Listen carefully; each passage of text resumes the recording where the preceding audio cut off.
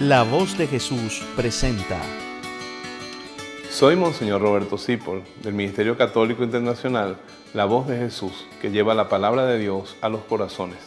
Esperamos que el servicio que vas a disfrutar a continuación sea de mucho fruto para tu vida espiritual. Pongámonos en oración para escuchar juntos la voz de Jesús. Nuestro tema de hoy,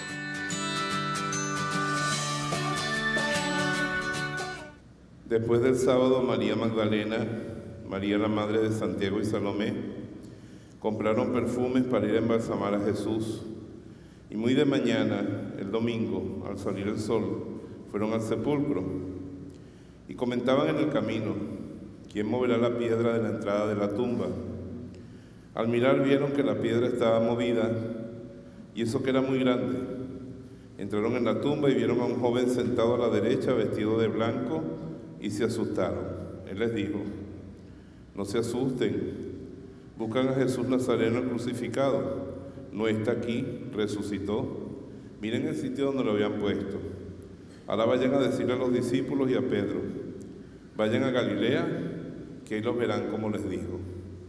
Palabra del Señor.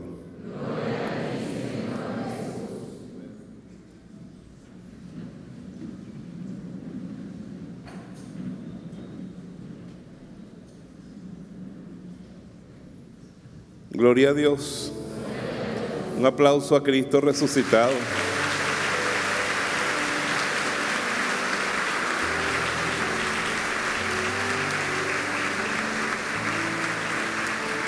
La fiesta de hoy que dura 50 días. Diga al del lado bonche por 50 días.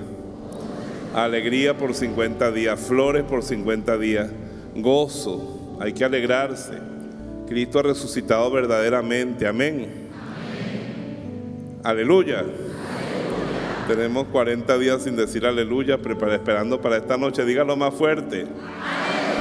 Algo está descendiendo, algo está, algo está descendiendo desde arriba de los cielos. Eso es el Espíritu Santo.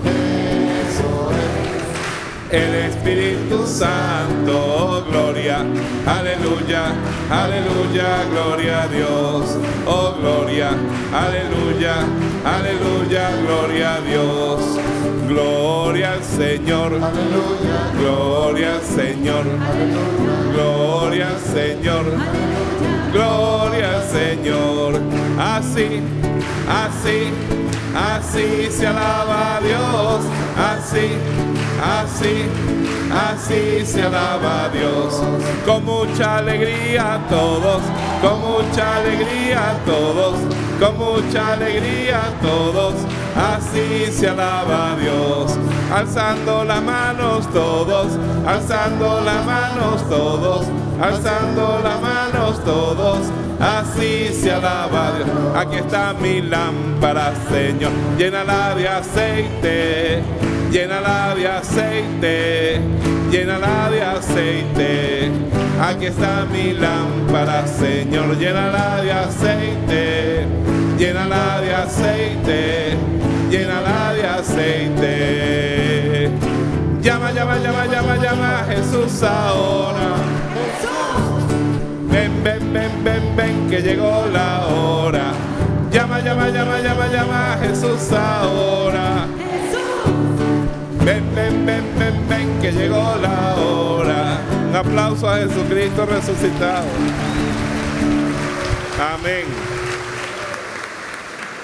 Pues tiene que ser mucha alegría. La fiesta de hoy nos grita a todos nosotros, todo acaba bien. ¿Cómo dice Dios? Por oscura que sea la noche, por fuerte que sea la enfermedad, aunque parezca que todo está muerto, cuando no tengas esperanza, recuerda que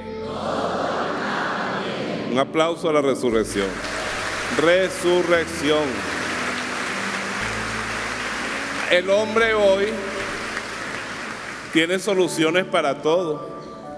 El hombre hoy ha desarrollado tanto su capacidad que Dios le dio que vence muchas enfermedades. Hemos descubierto los antibióticos. Antes se moría tanta gente de una infección de gripe. Hoy con un antibiótico sale vivo. Yo debería estar muerto hace ya como 25 años y los antibióticos me tienen aquí, mira, levantadito. El hombre es capaz de saber cuándo va a haber un eclipse, conoce las estrellas, cuándo va a llover. Ahora tú pones a Siri, la señora esa que vive dentro del teléfono, la española. Dime el clima en Texas. En Texas hoy habrá buen tiempo. A las 10 de la mañana habrá mucho sol. Así se sabe toda la vieja esa. Es más, el hombre ha, logrado tanto con su técnica que inventó ese aparato. También tiene una española metida adentro que ponen en el carro. Cruce a la derecha, va a encontrar una vaca amarrada, vaya para la izquierda, cuidado atropella a esa vieja, le dice de todo. Uno nada más sabe manejar y esa señora le dice todo lo que tiene que hacer. El hombre ha avanzado mucho, pero hay ciertas cosas ante las que el hombre no puede. Diga la, la muerte. Cuando llega la muerte, mira, una mujer se puede operar más que Lila Morillo. Y tiene 80 años y está lisita, hace liposucciones, todo. Y tú la ves más vieja que la matraca de Cagua. Pero tú lo sabes es por la partida de nacimiento, porque eso parece de 15 años. Pero esa señora cuando le llega el día, azul quedó. Un hombre puede tener todo el dinero, pagar todo. Yo vi un hombre que conocí toda la plata del mundo, ese se caló todo, pero llegó un día en que el cáncer fue más que la plata. Y mire la cara del de al lado, es un candidato a muerto. Y lo que me están escuchando por YouTube también y por TV Familia, candidatos a muerto. Entonces, corramos, vamos a buscar una solución al mayor problema que es la muerte, porque yo no sé cuánto le dolerá al que se muere, pero los que nos quedamos de este lado sufrimos demasiado. Y si nos damos cuenta, la muerte ha ido contaminando todo, en todo y un poquito de muerte. La salud tiene un poquito de muerte metida, la familia tiene un poquito de muerte, en todo. La muerte, dice la Biblia, repita conmigo, por envidia del diablo entró el pecado en el mundo. Y la muerte es el pago del pecado. Entonces el Papa nos dice, eso está en la Biblia también, la muerte es el pecado, la paga del pecado, dígalo ahí. El Papa Francisco nos acaba de recordar que el diablo es un embustero que quiere arruinarnos la vida. Él miente en este mundo para arruinarnos la vida aquí. Una mujer, por ejemplo, tiene problemas en el matrimonio. ¿Qué mujer no habrá tenido problemas en el matrimonio? Yo creo que hasta la Virgen María. Ay, José, es que tú no me entiendes. ¿Alguna vez le habrá dicho así? Y José se le habrá quedado viendo y hasta qué le pasa. Porque las mujeres y los hombres somos distintos, ¿sí o no? Hay muchas mujeres que dicen, no, yo quisiera que mi esposo viera la novela conmigo y fuera más sensible. Tú te querías casar con una mujer. Ay, no, no. Eh, si se casa con un hombre, eso trae flores cuando te estás muriendo. y hay problemas en el matrimonio. Entonces apenas tiene problemas en el matrimonio, el diablo viene, divórciate. ¿Hasta cuándo te vas a calar eso? Y tú dices, y el diablo habla, diga al de lado, por la voz de las amigas, de las revistas que ella lee, dile, de los programas de televisión y sobre todo de las novelas. Y entonces tú destruyes tu matrimonio, la muerte se mete allí. En todo se mete la muerte. Por ejemplo, una cosa tan sublime, tan buena que Dios hizo como el chicharrón y el chocolate. Antes la gente comía chicharrón y chocolate tranquila. Ahora que somos científicos sabemos que el chocolate engorda, mira, y que el chicharrón sube el colesterol, o sea, tienen un poquito de muerte, hasta eso tiene de muerte. Entonces, ante eso el hombre no tiene remedio, no tiene remedio. Entonces Dios mandó a su Hijo y fue hombre como nosotros en todo y como Él asumió los pecados nuestros, por nuestros pecados, Él murió. Y murió de verdad, verdad. Y cuando le pusieron el cuerpo a la Virgen en los brazos, eso parecía un bagazo. ¿Sabe qué es un bagazo? Cuando una caña de azúcar la meten en la prensa, ella está del otro lado jugosa, blanca y verde, bien bonita. Cuando la pasan por la prensa del jugo de caña, lo que queda son unas hilachas, ¿sí o no? Donde hubo azúcar. Cuando uno mastica una naranja, escupe al final una cosa como plástico natural ahí, como un celofancito, el bagazo. Dígale, así quedó Cristo. Muerto, deshecho, destrozado, horrible. Dice la Biblia que parecía más un gusano que un hombre, que parecía un leproso, que uno lo veía y volteaba la cara para no verlo. Y muerto. No crea que lo metieron con catalepsia. Una vez yo escuché a un señor diciendo que Cristo lo que tiene la catalepsia así. Unos 90 azotes romanos, una corona de espinas, deshidratación total, cargar la cruz, crucificarlo con tres clavos, asfixiarlo, meterle una lanza en el corazón y estaba cataléptico. En la noche se curó de todo eso. Eh. Dígale, estaba muerto, muertico. Y encima que estaba muerto, le pasaron en la puerta de la tumba una piedra, que eso pesaba tanto, esa piedra.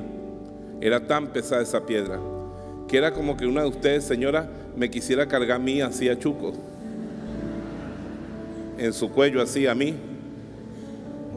Más o menos mover esa piedra para una mujer o tres mujeres era como cargarme a mí en los hombros, una señora.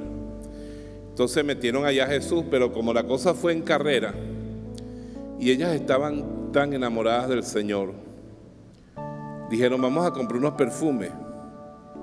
Y el domingo, después que pase el día del sábado, que no podemos trabajar, porque es la ley judía y era la Pascua, vamos a ir y lo perfumamos como Dios manda, le ponemos florecitas, lo arreglamos porque en tres días no se habrá echado a perder mucho. Van con ese acto de amor inútil y postrero, porque él ya estaba muerto, no lo iba a sentir.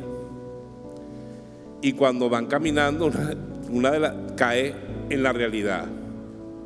Habían sufrido tanto y amaban tanto a Jesús que ninguna pensó en la piedra. Cuando van caminando dice, ¿y quién nos va a mover la piedra?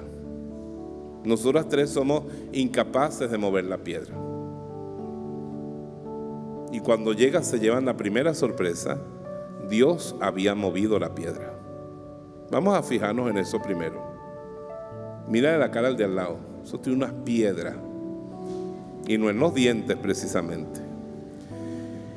Piedras en su vida que no ha podido remover. Por ejemplo, una piedra se llama rencor. Otra piedra se llama enfermedad.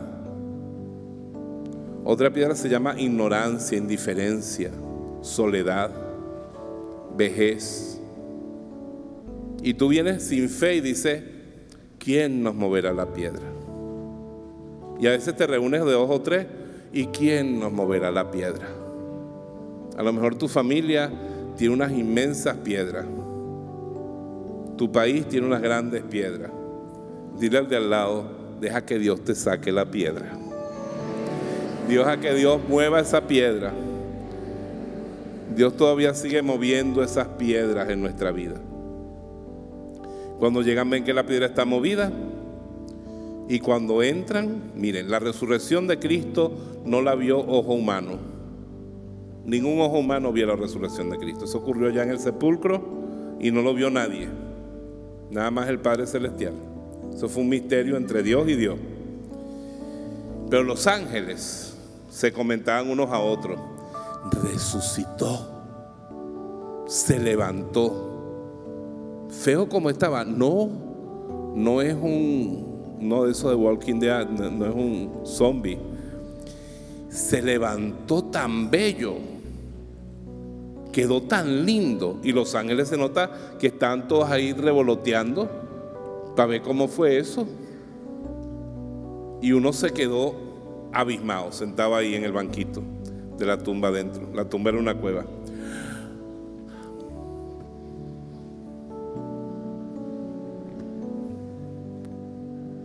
Abismado de la grandeza, pues eso era lo más grande que Dios había hecho La resurrección de nuestro Señor Jesucristo fue algo más grandioso que la creación misma de los ángeles y del universo. Amén.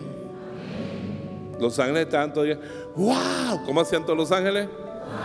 Pero más duro y largo. Nosotros decimos ahora aleluya, pero como dicen los ángeles,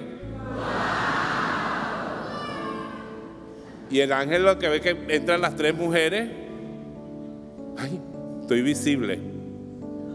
¿A quién buscan? ¿A Jesús Nazareno? Aquí no está. Se levantó, se levantó. Díganle a Pedro y a los demás discípulos. Fíjate que como Jesús sabía que Pedro estaba complejado, porque lo había negado cuántas veces. Entonces Cristo dice, si digo los discípulos, a Pedro dice, sí, los demás, pero como yo lo negué. Dice, díganle a Pedro, que Pedro no vaya a faltar. Los espero en Galilea, díganle al lado, eso significa vamos para la playa, díganle al lado. Vamos para la playa, vamos a, a descansar de todo lo que pasamos. Y en Galilea fue donde ellos se conocieron. Y si ustedes vieron que todo se derrumbó, pero ahora vamos a vivir en el amor primero, como cuando nos conocimos. Amén. Como esa canción que decía, espérame entre palmeras como la primera vez. Bueno, aquí decía Jesús, espérame en Galilea como la primera vez. Yo voy a hacer la cancioncita con eso. Entonces, espérame en Galilea como la primera vez. Y empezaron las apariciones.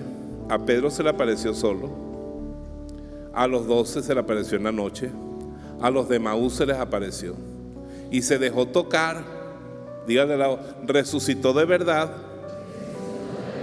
Él le decía a Tomás, coge el dedo y métemelo aquí en los huecos. Coge la mano, que este hueco es grande. No seas incrédulo, sino creyente. Y un día los apóstoles, ay, pero es un fantasma, ¿qué fantasma? ¿Tienen algo para comer? Y tenían era miel y tenían pescado. Bueno, se comió su pescadito, se tomó la miel, se masticó el panal de miel frente a ellos, para que vean que yo no soy un fantasma. Díganle la venció la muerte. El único que ha vencido la muerte, dígaselo. Y dígalo conmigo, eso es un hecho histórico. Los apóstoles derramaron su sangre no para decir que se habían imaginado que estaba vivo y se consolaron. Cuando se murió un amigo mío, yo me sentí muy mal, porque yo no fui a su entierro ni lo vi muerto. Un día me senté en una silla y le dije, fulano, gracias por todo lo que me diste, me alegra haberte servido, perdóname las cosas que te hice, yo te perdono también, vete. Pero él, él está muerto todavía, tú vas a la tumba, lo abres y ahí está, yo hablé fue con su alma, que es inmortal, pero su cuerpo sigue muerto.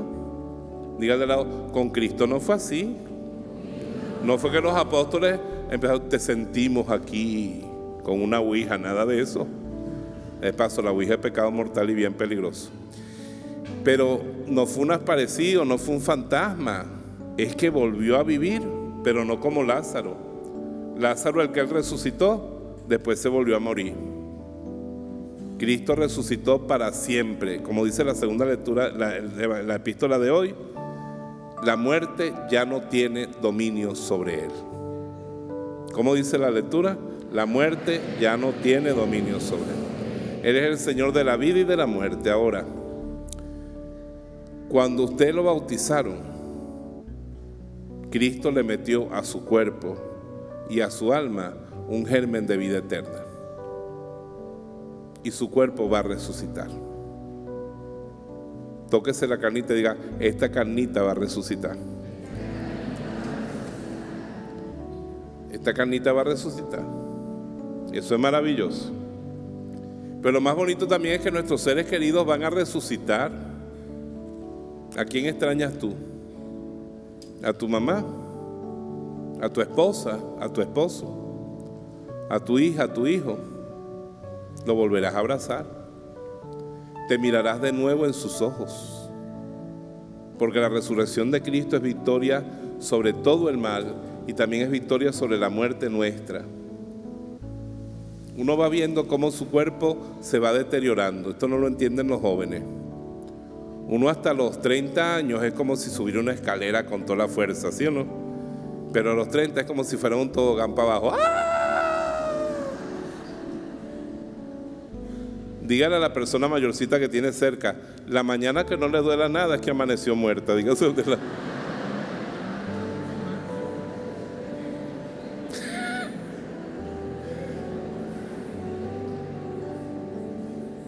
Pero la resurrección de Cristo nos da la certeza de que también nosotros vamos a resucitar. Y si seguimos fieles a Jesucristo, vamos a resucitar para ir al cielo. Usted no se puede imaginar lo que es el cielo. Un feto no se puede imaginar lo que es la vida. Usted le dice a un feto, hola feto, hola. Mira, ¿tú no has comido hamburguesa? ¿Qué es eso? Lo único que yo puedo comer es líquido amniótico. Qué asco. Trata de explicarle a un feto lo que es un pasticho. Trata de explicarle a un feto lo sabroso que es levantarse en la mañana y salir a caminar en la madrugada un ratico, con el relente, el rocío de la mañana, viendo cómo sale el sol poco a poco. El feto, él cree que toda la vida es vueltica para arriba, vueltica para abajo y mucho cuidado con el cordón. Eso es todo lo que él sabe. Dile de lado, tú eres como un feto. con respecto a la eternidad, tú y yo, en este mundo esto es como un gran útero. Y somos como un feto, pero cuando venga nuestra resurrección con Cristo, porque si lo servimos a Él, resucitaremos con Él, va a ser como nacer a una vida, diga de lado, increíble. Y esta resurrección es el inicio. Y a mí me encanta una cosa y quiero comentarle para terminar. Hay una frase en la carta a los romanos que dice que el mismo espíritu que resucitó a Jesús de entre los muertos restaurará nuestros cuerpos mortales, aquí y a la muerte también. Dígale al Espíritu Santo sana. Miren cómo quedó Cristo de la cruz y cuando se levantó estaba tan bello, tan bello, que la Magdalena no lo reconocía, creía que era jardinero. Los de Maús creían que era un extraño. Como cuando las viejas van a la peluquería.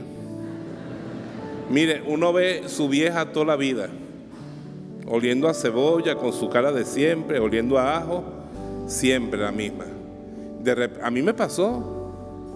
Yo una vez fui a casa de una sobrina en Bejuma, y yo tengo unas sobrinas bellas todas. Y Rosile es muy linda, tiene los ojos entre verde y gris y morado, una cosa increíble. Y ella se crió conmigo, ella vivía en mi casa cuando estaba en la universidad. Y yo voy a la boda y veo una muchacha bella, pero bella, preciosa. Y yo digo, esa será amiga de las morochas que era una de ellas, creo que la que se iba a casar. Y después cuando le voy a dar la comunión, le veo los ojos y digo, tú eres Rosile. Y me dice, ¿quién voy a ser? Ella es dulce como yo, salió igualito. Cuerpo de Cristo, amén. La mamá creyó que yo le dije, tú te confesaste. yo no soy así. Entonces, ¿qué pasó? Cuando le vi los ojos, la reconocí. Ella tiene un cuello largo, yo no sabía. Se cortó el pelo Siempre ya tenía el pelo, entonces con los dos mogotes de pelo aquí, no se le notaba el cuello tan largo. Si había maquillado, yo nunca la había visto maquillada. Con el pelo corto y eso, era extraordinariamente mejor que cuando yo la veía con el pelo largo y sin maquillaje. Así Cristo, cuando el Espíritu Santo pasó, no solamente lo despertó, lo acomodó, lo puso bello. Diga al de al lado con una palmadita, anímate, contigo va a pasar también. O sea, nosotros estamos en este mundo deformes y decadentes por la fuerza del mal y del pecado. Pero cuando Cristo nos resucite, va a estar en nosotros toda la felicidad posible en el mundo. Y tú tienes sufrimientos ahora, cruces, limitaciones. Dígale al lado, aguanta piojo que la noche es larga, dígale al lado. Pero todo eso se va a acabar como se acabó la pasión. como se acabó la, la destrucción de Cristo en el Calvario, así tu destrucción también se va a acabar. Por eso comencé el sermón diciendo, todo va a terminar bien. Y estos días yo quiero que tú reces todos los días, si es posible, el rosario con los misterios de gloria. Y además de que en esos misterios pides el Espíritu Santo, que lo tenemos que empezar a pedir esta noche fervientemente para que tengamos un gran Pentecostés. Tú le pidas esa fuerza del Espíritu que te vaya desde ahora, que no espere que te muera, que te vaya restaurando, que te vaya sanando, que te vaya hermoseando, que te ponga como Dios quiere que tú estés. Amén. Pues San Pablo dice, el mismo espíritu que levantó a Jesús entre los muertos restaurará sus cuerpos mortales. Amén. Entonces esa esperanza en ese poder glorioso que se manifiesta ahora del Espíritu Santo. Dios nos creó, Cristo nos salvó, nos abrió la puerta para el cielo y el Espíritu Santo nos transforma para que volvamos a ser quienes éramos. Y más todavía, hijos de Dios. Entonces esta es una noche para alegrarse mucho, amén. Para llenarse de esperanza y ver que Cristo derrotó a Satanás para siempre. Satanás lo que está dando son los coletazos que le quedan, pero Cristo ya lo ha vencido. Y así como se levantó de la tumba, Cristo le va a poner el sello final a la historia cuando todo se ha puesto a sus pies. Nosotros también y Cristo nos agarre a todos nosotros y nos ofrezca al Padre como una ofrenda. Por eso, ser de Cristo es nuestra alegría. Diga de lado, tenemos un rey victorioso. Tenemos que andar con poder. Y fíjense que usted péguese de Cristo, manténgase con Cristo, como una rama en un árbol, pegadito de Él. Y usted va a ver que sus acciones son las de Cristo, porque somos hijos en el Hijo tenemos vida en el que está vivo, ¿sí o no? Diga de lado, su gloria es nuestra gloria. Su victoria es nuestra victoria. Y su poder es nuestro poder. Hace años yo leí una vida, un libro que se llamaba El Hijo del Rey. Y era un tipo que había descubierto en el Espíritu Santo que él era hijo de un rey. Entonces se montó en un avión y él iba en una misión que Dios le dio. Y cuando iba volando el avión, el avión empezó a fallar. Todo el mundo empezó a temblar porque eso temblequeaba y, y había un problema allí. Entonces dice el capitán, vamos a tener que regresar al aeropuerto. Dios mío. ¿Quieren saber lo que pasó? Venga el domingo de la misericordia. ah, no, no, se lo voy a contar. Entonces el tipo se puso en oración, dijo, Señor, yo soy un miembro de Cristo resucitado, yo soy un hijo del rey, yo te pido, Señor, que tú pongas... Y entonces él empezó a ver un problema de aceite en su mente y que un aceite que se había regado se volvía a meter en su sitio y de repente el avión se estabilizó. Cuando bajaron, él le preguntó a los de la compañía. ¿Qué fue lo que pasó? Dice, se salió un aceite, unas cosas y tal, y ese aceite fue el que causó el inconveniente, pero lo extraño fue que después de que se salió, el aceite se devolvió. Díganle, los hijos del rey pueden hacer cualquier cosa. Si le conviene para el bien, usted está protegido, bendecido con el poder de la resurrección. Amén. Así que diga al del lado, cabeza para arriba pecho para adentro. Camine derecho. No ande encorvado ni lamentándose. Medite en su esperanza. En lo segura de su esperanza. Y vamos a conquistar el cielo. Amén. Vamos a vivir como gente con estilo, pues somos los siervos de Cristo que está resucitado, ¿sí o no? Y no podemos vivir como todo el mundo. El pecado no tenga lugar en su vida mortal. No le provea a los bajos instintos de su carne. Busque lo alto, lo noble, lo bello, porque dice la carta a los colosenses que por Cristo ahora nuestra vida está escondida con Él en Dios. Y por eso aspiremos a los bienes de arriba y no nos quedemos solamente en los de la tierra. Amén. Vamos a cerrar los ojos y con un punteadito de música vamos a orar. Querido Jesús resucitado, ojalá nuestros ojos del alma pudieran verte bajo la acción del Espíritu, cómo se restauró tu cuerpo, cómo se transfiguró tu cuerpo, una energía tan grande que marcó la sábana santa. Ese momento glorioso cuando tú levantaste los brazos ante tu Padre que te abrazó, feliz, porque habías bebido el cáliz de la amargura y habías alcanzado la victoria de la obediencia. Hiciste nuevas todas las cosas y también me hiciste nuevo a mí. Gracias Jesús por tu victoria. Te felicito Jesús. Me gozo en tu victoria porque sabes que te amo más que a mi vida. Derrama sobre nosotros la fuerza de la resurrección esta noche, Señor. También sobre los que nos ven en las redes y en los medios de comunicación.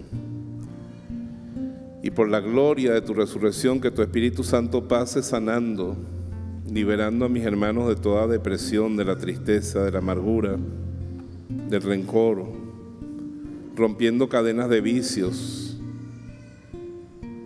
Libéranos de los vicios, Señor.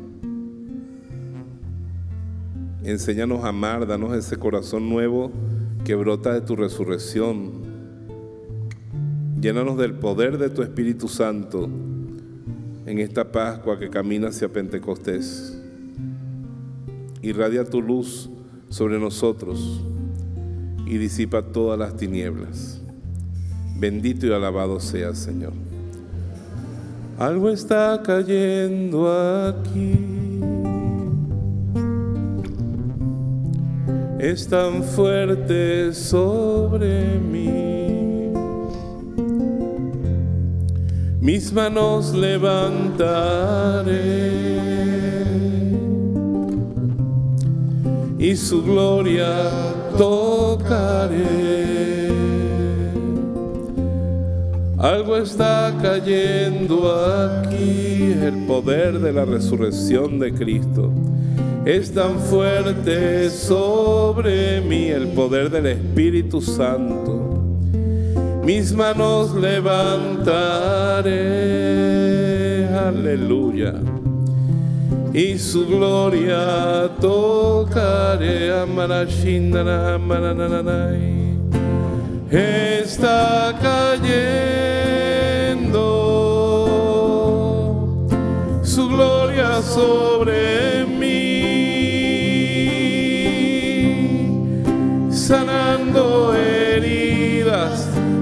al caído, su gloria está aquí. Está cayendo su gloria sobre mí, sanando heridas, levantando al caído, su gloria está aquí. Ponte la mano en el corazoncito y dilo. Su gloria está aquí. Su gloria está aquí, aleluya. Su gloria está aquí. Amén. Para los que servimos a Dios y a la iglesia en la voz de Jesús, es un gran gozo que tú hayas recibido el don de la palabra de Dios y esperamos que dé mucho fruto en tu vida y en tu corazón. Y te bendigo en el nombre del Padre, del Hijo y del Espíritu Santo. Amén.